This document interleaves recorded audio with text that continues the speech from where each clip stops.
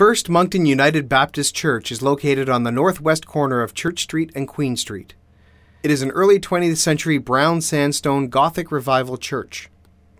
A building committee was created the night that fire destroyed an original wooden church in 1913, and the new stone church was completed in 1915. The committee hired C.B. Chappell of Prince Edward Island as the architect and Moncton's James Reed and Son as the contractor. Their combined efforts resulted in a brown sandstone structure that is still one of the best examples of Gothic revival architecture in the city. The interior design makes use of several pillar styles, coffered lathe ceilings, and extensive wainscoting. The centerpiece of the chancel area is the coffer paneled Casavant pipe organ. The initial donations from the community following the fire in 1913 were not only from within the Baptist denomination.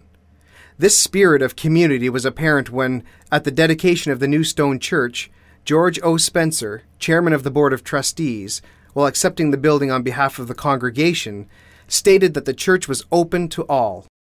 First Moncton United Baptist Church was first organized by Reverend Joseph Crandall in 1828 and has served the religious and community needs of Moncton ever since. This congregation has had a church building on this site since 1857. First Moncton United Baptist Church was designated a heritage property through the City of Moncton Heritage Preservation Bylaw.